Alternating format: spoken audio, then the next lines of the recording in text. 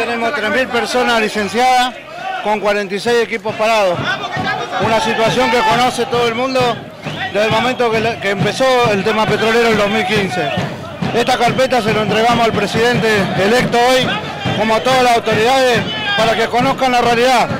Eh, nadie hoy puede saber que vino precavido.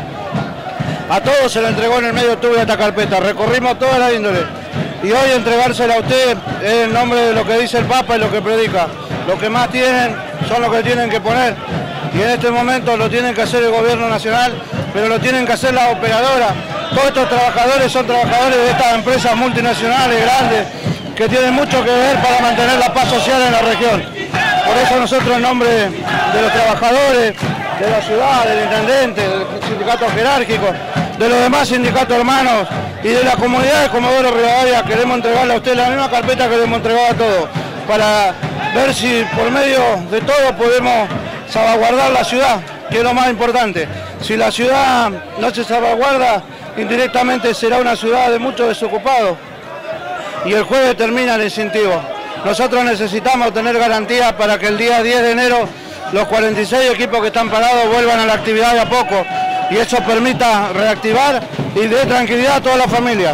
En un mes difícil para los cristianos, en un mes de Dios, como es la Navidad, el Año Nuevo, es difícil hacer este tipo de movilizaciones.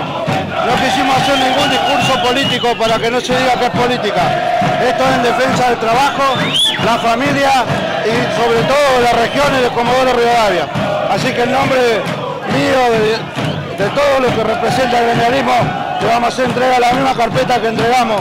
Hoy ojalá en manos de usted y de la iglesia y bendecido por todo podamos salir adelante de esta situación que es crítica para los trabajadores, crítica para todos. Acá está toda la comunidad, agradecer el acompañamiento de los intendentes, del Consejo Deliberante, de los concejales de distintos partidos y esa misma tranquilidad que le transmitimos a usted. Bueno, muchas gracias. Yo lo recibo porque todo esto está hablando de cómo la comunidad está apoyando una situación difícil, pero que esta, esta fraternidad que hoy se ve de Comodorense y de la zona ayude también a que en otras circunstancias nos sintamos siempre solidarios los unos de los otros y así construyamos un Comodoro cada vez mejor.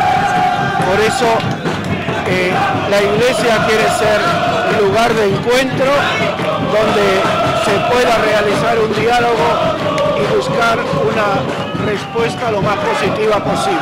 Aprovecho la oportunidad para pedir al Señor que derrame bendiciones y abra las mentes y los corazones y así se busque no el bien particular, sino el bien de todos.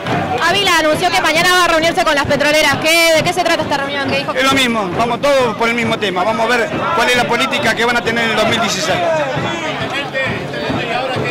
¿Qué otra negociación resta para darle respuesta? Seguir peleando todos los días. No queremos que queden gente nuestra en la calle y la vamos a pelear todos los días como prometimos. Vamos a estar del lado de la gente, ayudando a la gente y convocando a la gente. ¿Qué significa tiene esta marcha que congrega a todos los sectores? Esto significa que no vamos a resignar todos los logros que hemos obtenido. Tras la entrega bueno, de este petitorio se espera una rápida respuesta por parte del gobierno nacional. En realidad, la idea es poder tratar de dejar de lado la, la, incertidumbre que es la que tenemos en nuestra ciudad, en nuestra región. Está el intendente de Sarmiento, de, otros, de otras localidades de la cuenca. Así que esperemos una respuesta importante y positiva por parte del gobierno nacional.